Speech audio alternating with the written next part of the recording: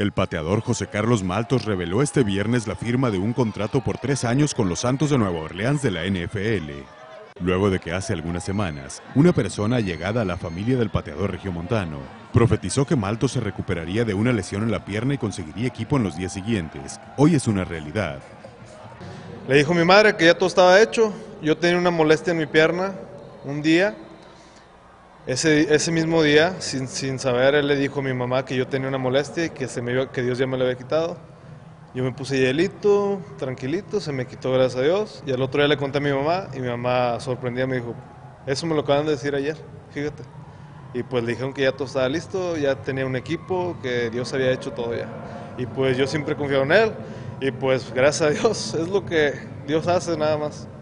El jugador recibió a principios de esta semana una invitación para participar en un minicampamento con los Patriotas de Nueva Inglaterra, pero cuando ya estaba listo para viajar a Foxborough, tomó una llamada de Carlos Barocio, quien fue su coach en la Universidad Metodista del Sur.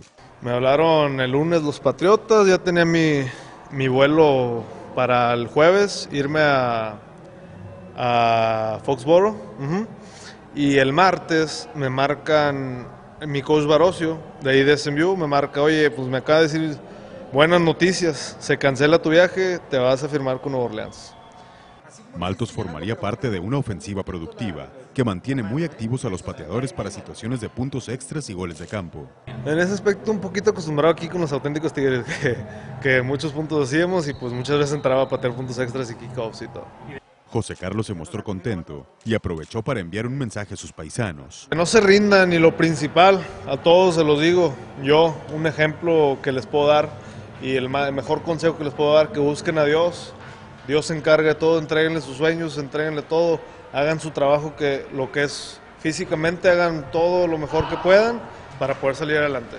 Con imágenes de Jorge Vázquez e información de Marco Almaraz, canchaelnorte.com.